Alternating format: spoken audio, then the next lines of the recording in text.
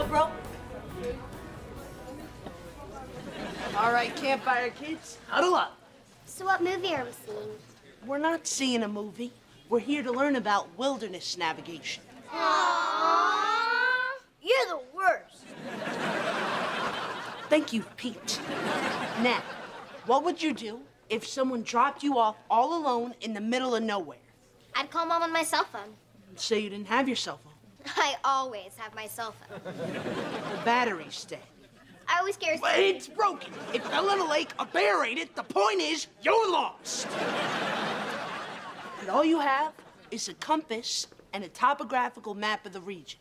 So I have a compass and a topographical map, but I don't have my cell phone? That tears it. We're seeing a movie. Yeah!